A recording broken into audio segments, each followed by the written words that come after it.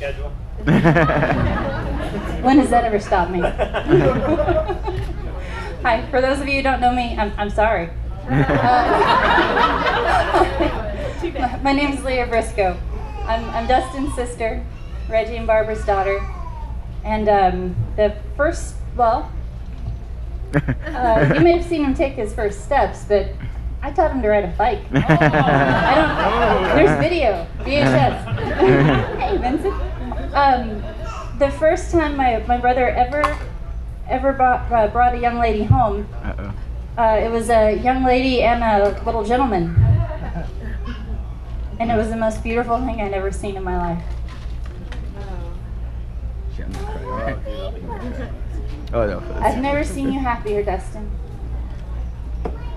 Patti, you already feel like a sister, and I'm so glad that today makes it official. You're the most beautiful family. I love you both so much. Everyone else has gone on about how great y'all are, and I'm about to cry as it is. Um, could not imagine a more beautiful union than the one I'm looking at right here.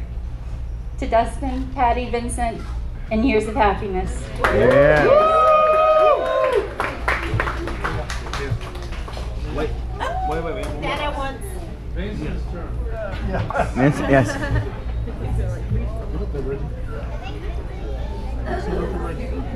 Um, Dustin's mother and I kind of had some reservations about Dustin for a while.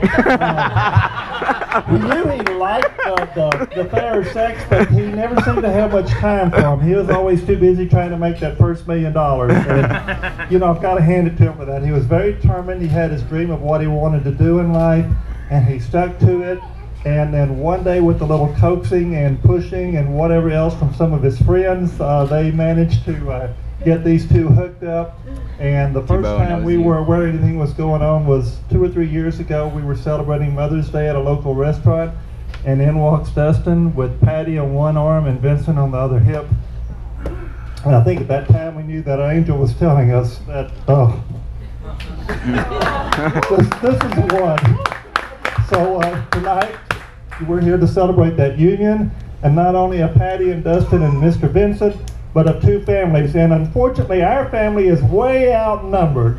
That's all right. There's, there's plenty of love to go around with all the family and friends here tonight. So one last toast to the couple.